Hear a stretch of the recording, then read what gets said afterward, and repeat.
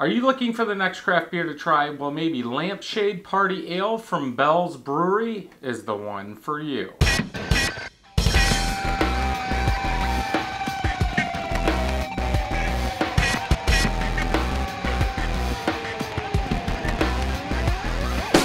Welcome back everybody. So we are going to try Lampshade Party Ale. This is a new one by Bell's. This is a double IPA.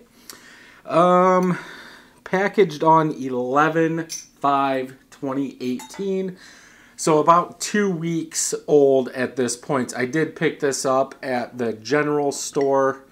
Uh, we had to go in there for uh, i think it was some yeast and so i just picked it up.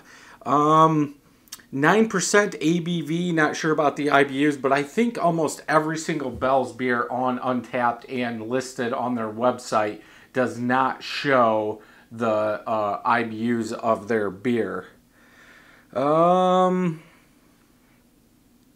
really doesn't say anything. It's an old school picture, uh, like a 70s picture. It's got a couch with a guy and a girl on it, and the guy has a lampshade on his head. So we do have kind of a khaki off-white head, small and medium bubbles in this one, about a finger and a half of head. Uh, bubbles on the side are like dish soap, they are compact. If we take a look at the color, it is a very clear golden color. I can see all the way through it. Some bubbles coming up, not very many. Let's go ahead and get a smell.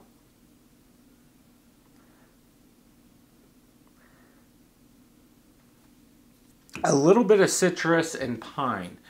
I wish I would uh, would have picked up Hop Solution. Now the 2018 version of Hop Solution just came out. That is going to be year round now. So technically, I think they have Hop Solution, Lampshade, and Hop Slam are all double IPAs from Bell's.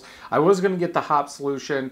I haven't looked at anything about this lampshade and I wanted to see what the flavors, like the smells and the taste, what the difference is going to be. So I still might pick another lampshade and a hop solution up to see. But this one, the smells are not really blow, blow in your face or slam you in your face. It's a really subtle kind of mm, citrus pine. Not that big at all. Let's go ahead and get a taste.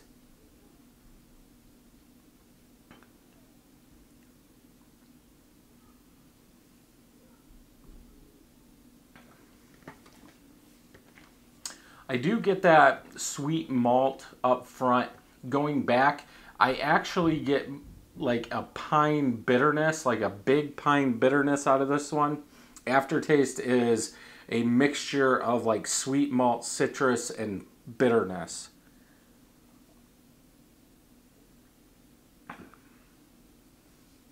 Okay, now I'm getting more bitterness in the back, like on both sides of the tongue. I would think this is around 80 IBUs if I had to say.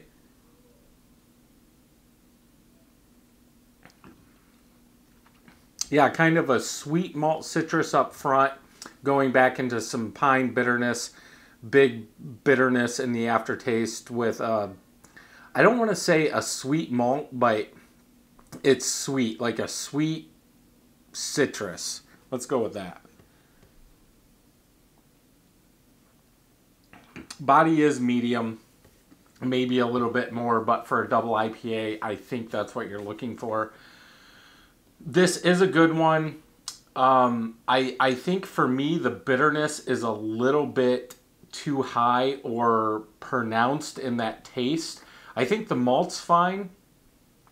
I would probably have to go with a four out of five. I could probably drink one or two, but not something I would pick up from them all the time.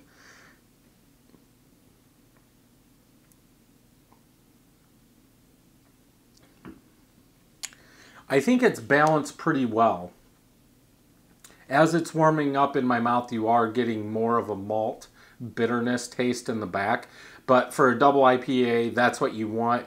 You need those IBUs to balance out the uh, all the malts that you're using. It doesn't taste to me like they're using like a lot of sugar to up that ABV. excuse me. Um, yeah, overall not a bad beer. So yeah, four out of five. I like the lacing on it too. Uh, four of my friends have rated this average 4.38 out of 5. Uh, 315 people have rated this average 3.07 out of 5. Uh, Mike does like this very well balanced double IPA. He did give it a 4.5. Jordan gave it a 4. So I, I would say if you're into those maltier, bittier double IPAs, I think this is one you should try and find, pick up. But for me, that bitterness is a little too high. And I actually want more of that sweet citrus that I'm getting. I want that to be higher for my preference. So if you like this video, thumbs up. If you don't, thumbs down. Don't forget to hit that subscribe button, that bell, so you know when new videos are coming out. And until next time, happy brewing.